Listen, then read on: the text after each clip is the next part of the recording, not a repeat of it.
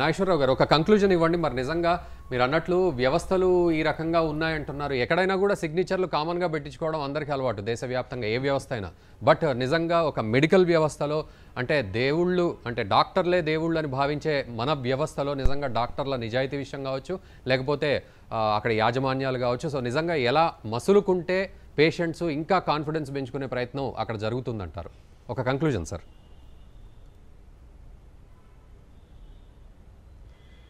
Right ఒక్క విషయం మళ్ళీ నేను చాలా క్లియర్గా చెప్పదలుచుకున్నాను. యా. సర్వీస్ వైద్య వృత్తిలో సర్వీస్ అని మీరు ఏదైనా అంటున్నారు అని అంటే అది కేవలం గవర్నమెంట్ హాస్పిటల్లోనే ఉంది. సర్వీస్ అనే ఫ్యాక్టరు ప్రైవేట్ హాస్పిటల్లో లేదని నేను అనట్లేదు. సర్వీస్ ఫ్యాక్టర్తోని వడ్డించుడు కూడా ఉంటుంది ప్రైవేట్లో.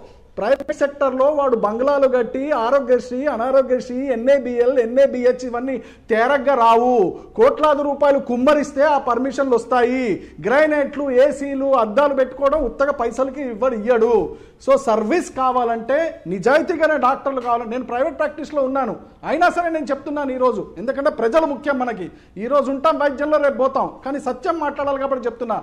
నిజమైన డాక్టర్స్ కావాలి. సర్వీస్ ఉండాలి. గవర్నమెంట్ హాస్పిటల్లోనే దొరుకుతుంది. ప్రైవేట్లో దొరకదు అని నేను అనను. ప్రైవేట్లో వడ్డించి పెడతాడు వాడు. అంటే ట్యాక్సులు వేసి పెడతాడు. ఇది పది రూపాయల్లో అయిపోయేది. నాకు పదివేలు ఎందుకైంది? నువ్వు వెళ్ళావు కాబట్టి అక్కడికి.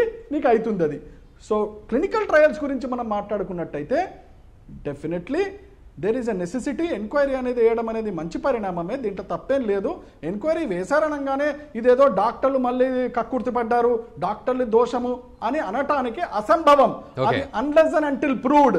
Yes మీరు అడిగారు ఇంత ముందు డాక్టర్లలో వైద్య వృత్తిలో ఫ్రాడ్ రాలేదా? వచ్చింది. ఎప్పుడు వచ్చింది ఫ్రాడ్ ప్రైవేట్ సెక్టర్ ఎప్పుడైతే పబ్లిక్ హెల్త్లో. వచ్చిందో. ప్రైవేట్ సెక్టర్ ఎప్పుడైతే పెద్దపీట వేశారో ఎవరు వేశారు పబ్లిక్ హెల్త్ కేర్లో పెద్దపీట గవర్నమెంట్ వేసింది. అప్పుడే ఫ్రాడ్లు మొదలైనవి government doctors are sincere government doctors are the best. ఇది నా కంక్లూజన్ ఓకే